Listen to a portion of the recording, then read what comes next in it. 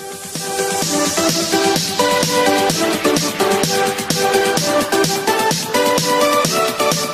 Episode thirty one के starting में हम ये और टाइचू को घर आते हुए देखते हैं। ये बिल्कुल गुमसुम थी तो टाइचू उसे गुड नाइट बोलता है। तो वो जाने लगती है तो टाइचू उसे रोक बोलता है कि कल मिलते हैं यहाँ। जुनहो भी घर आता है, दवाई भी वहाँ पहले ही शामिल था। वो बताता है कि उसकी और ये की न्यूज़ शे ने ही फैलाई है, दवाई बोलता है। उसे ये सब फ़ोटो मिसेज जांग ने ही दिखाया होगा। जुनहो बोलता है, कोई काम नहीं है तो जाके रेस्ट करो। दवाई बोलता है, आप सच में? उसका मतलब शादी से था। इसमें जुनहो कोई जवाब ना दे पाता है वो सॉरी बोल देता है, दवाई बोलता है, कल मिलते हैं। यहाँ यूनी जुन्हो का अभी भी इंतज़ार कर रही थी तो जुन्हो अंदर आता है तो यूनी उसे आवाज़ लगाती है तो जुन्हो बोलता है, यूनी, तुम अंधेरे में क्यों बैठी हुई हो? तो यूनी बोलती है, मैं नहीं देख सकती तो क्या फ़र्क पड़ता है, अंधेरा रहे या न रहे? तभी वो उठने लगती है तो जुन्हो उसे संभालता है। यूनी उसे आई लव यू बोल कर उसे हक कर लेती है। यूनी बोलती है, तुमने मुझे रिस्पॉन्स नहीं दिया, क्योंकि मैंने रिस्पॉन्स का वेट किया मेरे लाइफ की सुकून के लिए। यहाँ जू अपनी और यूनी की फ़ोटो देख, उसे सीने से लगा लेता है और ड्रिंक करने लगता है। यहाँ ये अपने लगेज को लिए गुमसुम बैठी हुई थी।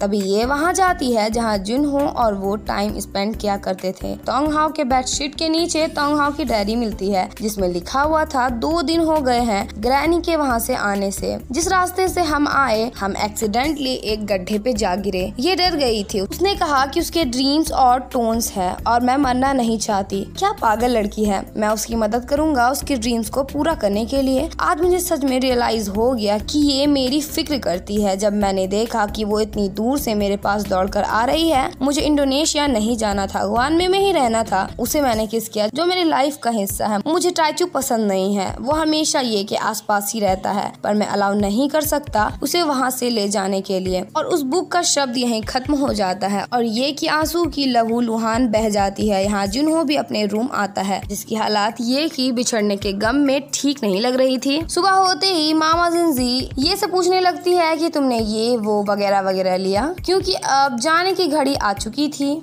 मिस्टर तैंग उसे एक कैमरा देते हैं, सैंग जे उसको बैग देता है, जिसमें सारा गिफ्ट फिट हो जाए। फैंग उसको एक रुमाल देती है, जिसमें उसका फेवरेट फ्रॉक था, और खास बात तो ये थी कि उसने ये खुद से बनाया था। सू उसे अपनी फ़ोटो देती है, क्योंकि वो उसे ज़्यादा मिस ना करे। फैंग को गिफ्ट तैयार करने का मौका नहीं मिला था, उसने ये को इनका सोप ला के दे दिया था। सैफ उसे एक लकी एग देते हैं रास्ते में खाने के लिए। और मामा जिंजी उसे अपना क्रेडिट कार्ड देती है, जिसे ये देख खुश हो जाती है। तांग टाइचू को बोलता है, ये का ख्याल रखना? तो ये मिस तैंग को बोलती है कि मेरे जाने के बाद आप सैंग जी और चैन को देखना। वो बोलता है कि, नो प्रॉब्लम। तो चैन बोलती है, उसे उसकी कोई ज़रूरत नहीं है। और फिर से उनमें लड़ाई चालू होने लगती है। और फिर वो लोग सबको बाय बोल चले जाते हैं। यहाँ प्रिपरेशन तैयार थी, जहाँ जू सारे गेस्ट का वेलकम कर ही रहा था। तभी वहाँ मिसेस जांग आता और अपना एक छोटा सा दाना मार चला जाता है। तभी जू की नज़र युन्नी और जुनो की फ़ोटोज़ पे पड़ती है और उसे ये देख के काफ़ी ज़्यादा गुस्सा आ रहा था।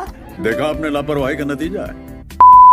और यहाँ दवाई जुन्हों को कोट पहना रहा था। तभी वहाँ मिस यांग आप बोलती है, ये तुम्हारा बड़ा दिन है, सो खुश रहो। वो बोलती है कि वो उसका यकीन करे यूनी उसके लिए बेस्ट है। वो बोलता है उसे पता है, यहाँ टाइचू बोल रहा था, ये मैंने सब प्लान कर लिया है। पहले हम फ्रांस जाएँगे और उसके बाद पेरिस और उसके बाद स्पेन। लेकिन ये का इसमें कोई भी रिस्पॉन्स नहीं था। टाइचू को ये अच्छा नहीं लगता है। यहाँ यूनी को तैयार किया जा रहा था। यहाँ सब कुछ डन था। यूनी खुद के ब्राइडल लुक को छू कर ही खुश हो रही थी, वहाँ जू आता है। यूनी बोलती है, जू, ये तुम हो? जू बोलता है, वो स्टनिंग लग रही है। जू बोलता है यूनी तुमने रिकंसिडर क्यों नहीं किया? बट यूनी बोलती है आज बहुत कुछ करना है और तुम्हें एक बेस्ट मैन भी बनना है और ब्राइडल मेड भी। क्या जुनहो तैयार है? जू बोलता है की वो चेक करके आता है और जैसे तैसे यूनी उस बात को मिट्टी डाल देती है। यूनी आज इतनी खुश थी कि वो खुशी के मारे तो रो भी सकती थी, यहाँ दवाई बोलता है, मिस्टर जुनहो मैं आपको एक कहानी सुनाता हूँ, एक सर्दी की बात। है, जब मैं अपने घर गया था, अपने सपने के लिए, तब लोगों के पास पानी ही नहीं था और ये बोल के वो ज़ोर ज़ोर से हंसने लगता है। आई थिंक वो एक जोक था, जो मेरे और जुनहो के पल्ले तो नहीं पड़ा। तो देवई बोलता है, ये फनी नहीं था क्या? तभी वहाँ जू आ बोलता है कि जुनहो तुम रेडी हो? क्यूँकी तीस मिनट बाद सेरेमनी चालू हो जाएगी। जुनो बोलता है, देखता हूँ। जू वहाँ से चला जाता है। टाइचू एक जगह अपनी कार को रोक कर बोलता है, तुम श्योर होना मेरे साथ चलने के लिए?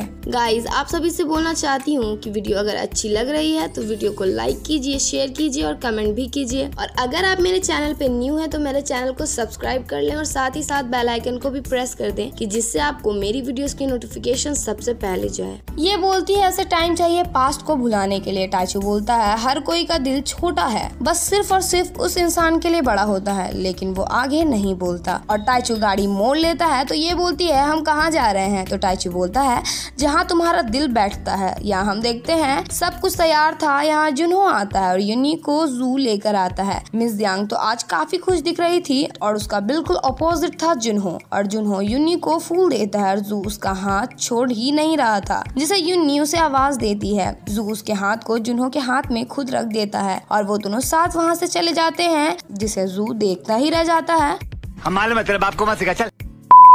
वो दोनों जाकर खड़े हो जाते हैं, जहाँ पे एक अनाउंसर प्यार में लंबी चौड़ी भाषण देने लगता है, जो कि यूनी और जुनो पे तो बिल्कुल भी नहीं है। हाँ यूनी पे है लव एट फ़र्स्ट साइड और यहाँ टाइचू की गाड़ी आ रही थी, और वो अनाउंसर बोलता है मिस यूनी, आप शान जुनो के साथ रहना चाहती है? चाहे वो गरीब हो, अमीर हो या हैप्पी हो या सैड चाहे किसी भी हालात में हो। वो बोलती है हाँ। तो सारे क्लैप करने लगते हैं इंक्लूडिंग जू जुनहो से भी सेम सवाल करता है बट जुनहो कुछ भी नहीं बोल रहा था। यहाँ ये भी शान मैंसन आ चुकी थी, तभी ये की भी नज़र जुन्हो और यूनिक की फ़ोटोज़ में पड़ती है। और यहाँ किसी को समझ ही नहीं आ रहा था कि जुन्हो कुछ बोल क्यों नहीं रहा है। कहीं ये शर्मिला तो नहीं, जिसे मिसेस जांग बहुत खुश लग रहे थे तो अनाउंसर अगेन पूछता है, शान जुन्हो, आप मिस यूनी को अपनी वाइफ बना के रखना चाहते हो? लेकिन उसका मुँह बिल्कुल ही सुन पड़ चुका था। यहाँ टाइचू और ये दोनों डोर को खोल सामने खड़े थे, जिसे सारे देख बोलने लगते हैं कि ये कौन है, ये कौन है? तो मिस यांग उसे देखते ही बोलती है कि तुम यहाँ क्या कर रही हो? यहाँ जुनू ये को जैसे ही देखता है, वो खुश दिखने लगता है। यहाँ सब में बातें होने लगती है। अरे, ये तो वो लड़की है ना जो गाँव वाली है? ये बोलती है, वो तो बस इन्हें अपनी ब्लेसिंग देने आई है। जिसे यूनी जैसे सुनती है, उसे सब कुछ दिखाई देने लगता है। अरे वाह, ये कोई चमत्कार है क्या?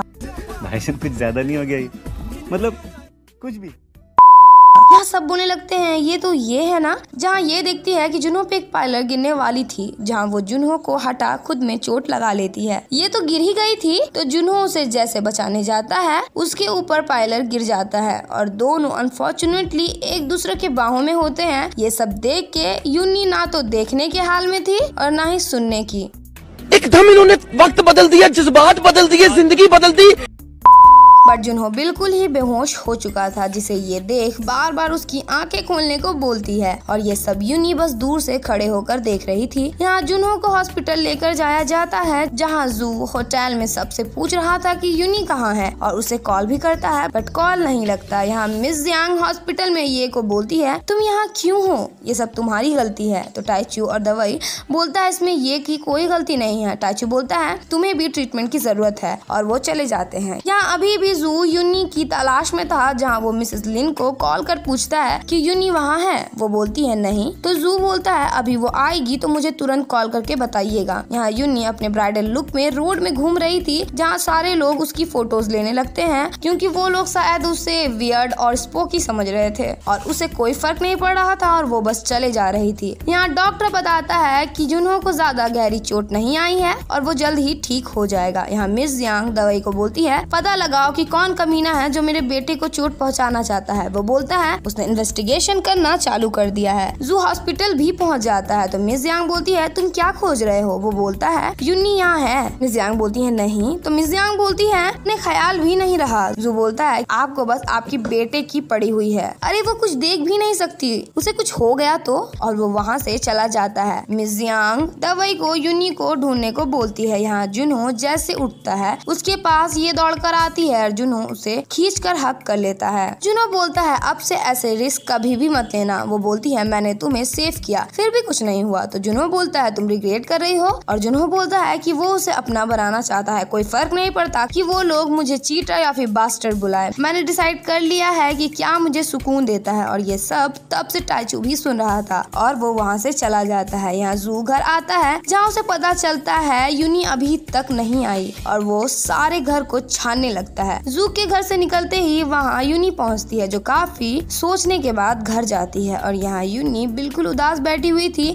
भी यूनी को ख्याल आता है कि कैसे जुनहो बचपन में उसका ख्याल रखा करता था। यहाँ जुनहो बोलता है, वो ये के बारे में केयर करना कभी भी नहीं छोड़ सकता। मैं कभी अलाउ नहीं कर सकता। तुम मुझे छोड़ कर जाओ। तो ये बोलती है कि तुम ऑलरेडी मैरिड हो। जुनहो बोलता है, उसने हाँ नहीं बोला तो प्लीज़ अपने दिल को मेरे अगेंस्ट मत करो। वो बेड में थोड़ी जगह बना के बोलता है, यहाँ आओ, मैं तुम्हें सामने से देखना चाहता हूँ। तो ये बोलती है, ओह, क्या देखना है? तो वो सर में पेन होने का एक्ट करने लग, ये बोलती है कि, क्या हुआ? तो वो उसका हाथ पकड़ बोलता है, मुझे मिल गया। वो बोलता है, तुम्हारी आँखें मुझे छोड़ के भाग ही नहीं सकती। वो बोलता है, अब से तुम मुझे छोड़ के नहीं जाओगी। वो उसे अपना हाथ छोड़ने को बोलती है, बट वो छोड़ ही नहीं रहा था। तभी वहाँ मिस जांग आके बोलती है, तुम लोग क्या कर रहे हो यहाँ पे? तो ये जाने लगती है, बट जुनो उसे पकड़ लेता है। मिस जांग बोलती है यूनी मिसिंग है। जुनो तो हैरान था और मिस जियांग ये को गेट आउट बोलती है और वो गेट आउट हो भी जाती है। यहाँ यूनी मैंशन के दहलीज से जा ही रही थी तो उसके ब्राइडल ड्रेस से उसका सर्कस काप गिर जाता है और इसी के साथ इस एपिसोड की एंडिंग हो जाती है। So thank you for watching my this episode